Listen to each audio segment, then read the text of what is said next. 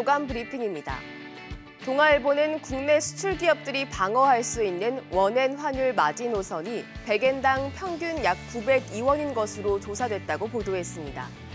동아일보가 대한상공회의소에 의뢰해 국내 수출 기업 300개사를 대상으로 조사한 결과에 따르면 엔저로 직간접의 피해가 시작됐거나 시작될 것으로 예상되는 마지노선은 평균 901원 84전이었습니다.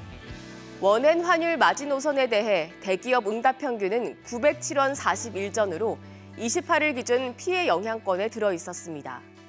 업종별로는 일본과 수출 경합도가 높은 조선과 가전, 섬유, 철강 기업들이 피해를 보고 있는 상황인데 다만 국내 수출 기업들이 체감하는 영향은 8년 전 슈퍼 엔저 시기와 달리 크지 않은 것으로 확인됐습니다.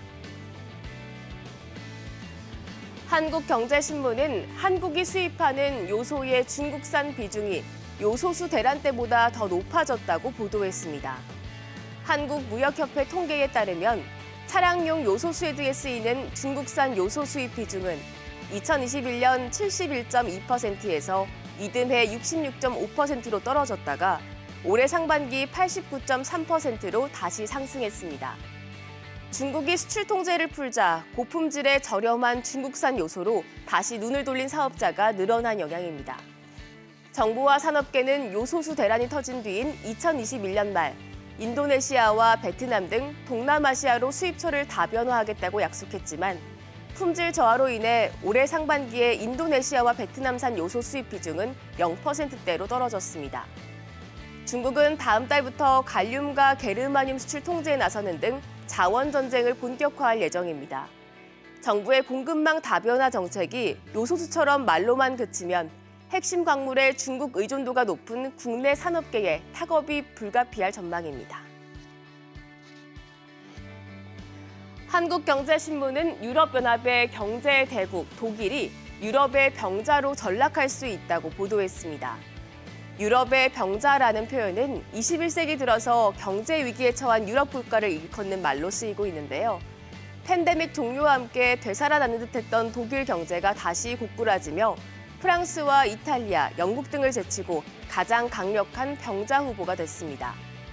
국제통화기금 IMF는 독일의 올해 실질 GDP가 전년 대비 0.3% 감소할 것으로 예측했습니다.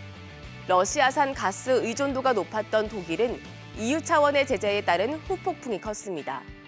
여기에 중국발 수요 둔화와 유럽 중앙은행의 긴축 기조가 겹치면서 제조업이 크게 위축됐으며 세계적으로 전기차 수요가 급증하는 가운데 독일 차 업계가 내연 기관차 생산에 치우쳐 있다는 것도 약점으로 꼽힙니다.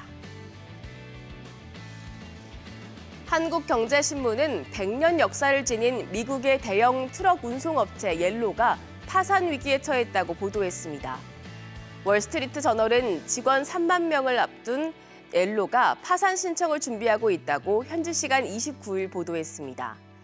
이 회사는 사업 일부 또는 회사 전체를 매각을 포함해 다양한 방안을 검토하고 있습니다. 옐로는 최근 수백 명의 비노조 직원을 모두 해고했고 고객으로부터 새로운 주문을 더 이상 받고 있지 않는데요. 미국 최대 노동조합 중 하나인 트럭 운전사 노조 팀스터와의 갈등이 옐로의 위기에 영향을 줬다는 평가도 나옵니다. 노조 측은 임금 등 조건을 사측에 양보해 10년 이상 회사를 지켜왔다고 주장하고 있고 회사 측은 임금 인상을 약속했음에도 노조가 협상을 거부하고 있다고 반박했습니다. 미국 재무부가 코로나19 팬데믹 시기에 옐로의 자금을 지원해서 이 옐로의 파산이 미국 납세자들의 부담으로 이어질 것이란 여론이 일고 있습니다.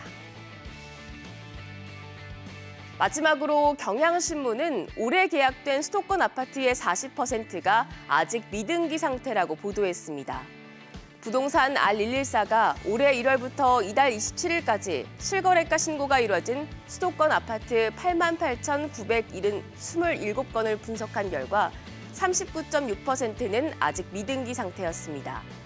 올해 서울에서 거래된 아파트의 46% 이상이 아직 미등기 상태인 것으로 나타났고 등기까지 4개월 이상 걸린 계약도 경기와 인천은 각각 2%인데 비해 서울은 3.1%로 높았습니다. 등기는 잔금을 치른 날로부터 60일 이내에 이뤄져야 하는데 통상 잔금일은 계약일로부터 두 달 뒤로 잡는 거래가 많은 점을 감안하면 계약 후 4개월이 지나도록 등기가 안 된 아파트는 시세 띄우기성 거래일 가능성을 의심해 볼 수 있습니다. 국토부는 현재 최고가 거래 신고 후 계약 해제가 된 것과 계약 후 6개월 뒤에도 미등기된 거래에 대해 지자체의 실태 조사를 요청하고 있습니다. 지금까지 조간 브리핑이었습니다.